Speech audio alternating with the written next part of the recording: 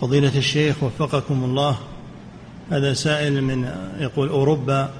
يقول هناك شاب زنى بامرأة عياذا بالله وحصل بينهما حمل. فهل يجوز للمرأة أن تجهض في هذه الحال لظروف اجتماعية وعائلية؟ لا ما يجوز. ما الجنين ما يسقط. له حق. خصوصا إذا كان نفخت فيه الروح فلا يجوز الجناية عليه.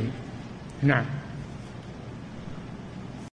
إعداد مشروع كبار العلماء بالكويت أعزها الله بالتوحيد والسنة.